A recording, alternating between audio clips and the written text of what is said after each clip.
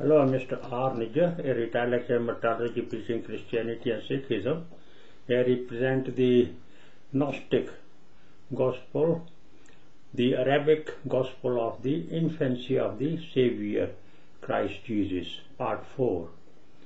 Assuredly, it is a great thing that the fire was not able to burn or destroy it. Then they took it and with the greatest honor laid it up among their treasures. And when Herod saw that the Magi had left him and not come back to him, he summoned the priests and the wise men and said to them, Show me where Christ is to be born. And when they answered in Bethlehem of Judea, he began to think of putting the brother Christ Jesus and not the Lord Jesus Christ of the Antichrist to death. Now the Stanic temple priests knew that Christ Jesus is the royal king of the Jews, the Lord of Sabbath, the middle candle of their menorah that represents the oral Torah or his word. But the spiritually sick did not admire their doctor, did not appreciate their doctor, Christ Jesus, but loved their own ways of cheating and fleecing people who used to visit uh, Jerusalem.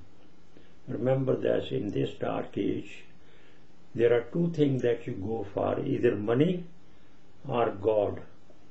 So if you go for money, then you hate God. That's what Christ Jesus. You can't love Mammon and God.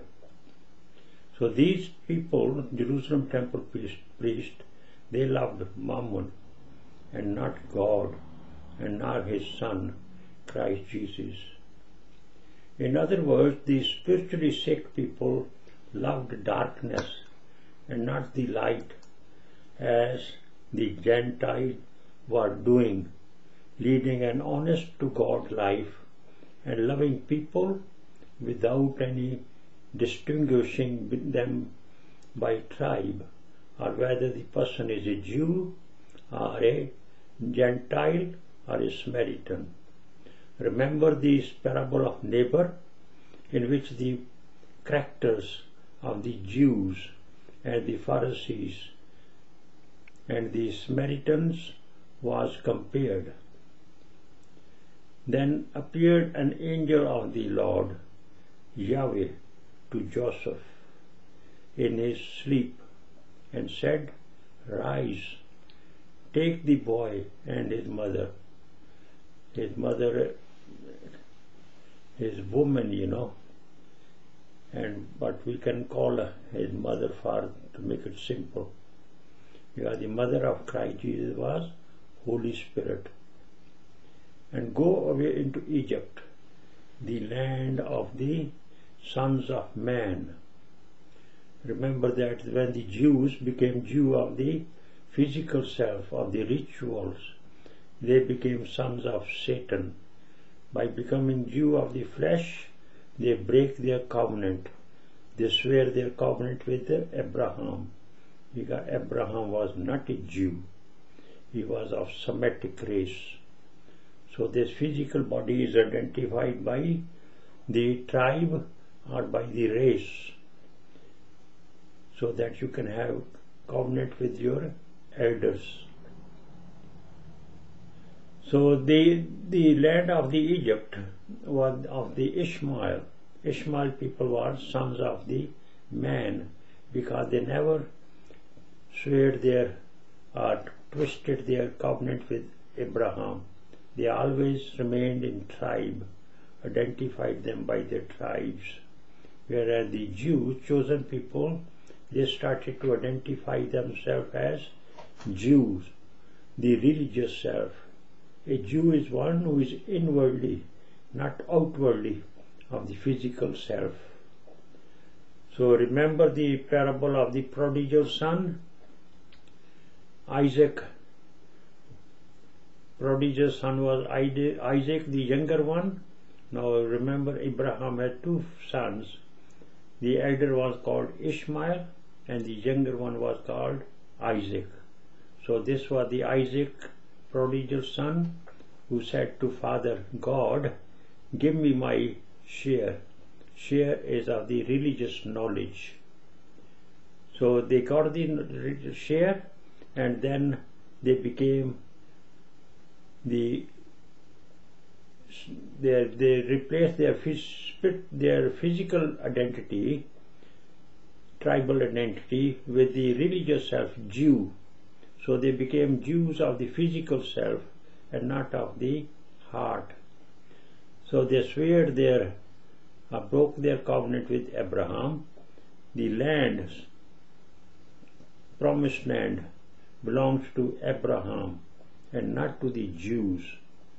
With the result, the Jews were kicked out of the promised land and they went to the land of the Arabs, which was of the elder brother Ishmael. So although they hated their elder brother Ishmael because they had the spiritual knowledge and they took the people of the Ishmael as simpletons, stupid people.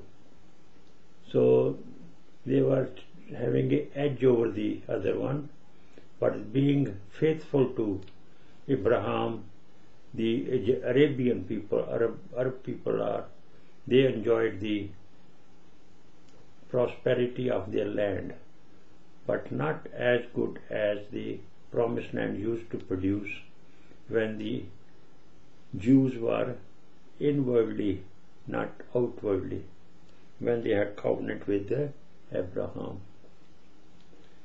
So here, you know, the prodigal son is Isaac and his people who became arrogant and they have the spiritual knowledge and in doing so they severed their tribal covenant with Abraham. For this reason, Abraham, the owner of the promised land, kicked them out of the promised land into Egypt, the land of the elder son Ishmael, of father Yahweh, who, for not swearing swearing, uh, twisting their covenant with Abraham, not only remained faithful to Abraham and enjoyed the humble food and prosperity, but they also remained faithful to God as well. Moses brought the people of Isaac back, turning them into the sons of Abraham, and the subsequent food and blessings that made the elder son Ishmael the Arabs jealous of. So Jesus was born of the virgin of Judah tribe, as the chosen people had become unfaithful to Abraham. The sons of they became sons of Satan when they are unfaithful to their elders.